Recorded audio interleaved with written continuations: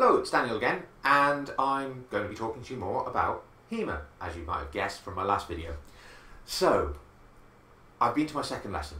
It was great. Again, it was with Dave Rawlings at London Longsword Academy, and I'll link the information to that below for anyone who wants it. He has a channel on YouTube. He also has a website uh, where you can go and get lessons. Um, this time, what I was studying was sword and buckler work, which is very, very different to the Dusak that I did last week. Very, very different to the dagger as well, obviously. Uh, so, after my second lesson, how am I feeling about it? Well, really good. This has been excellent, really interesting. It's very fun to learn the various different styles, and at the same time, it's keeping my brain active. There's a lot going on with what you do, how you do it, lots to learn, and it's interesting watching the other people at the club as well.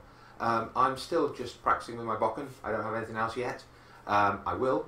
I'll, I'll be getting some stuff. I've ordered a few things, but I will talk about them when they turn up. I'm wearing the same kit.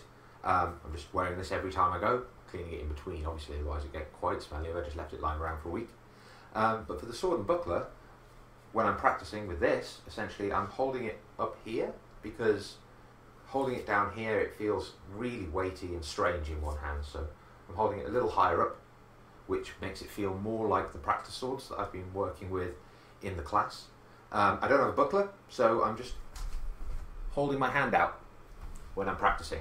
Um, when practicing on my own, all I can do obviously is just drill through the techniques, but that's really enjoyable. So I'm doing the techniques I learned in the first class, the techniques I learned in this second class just now.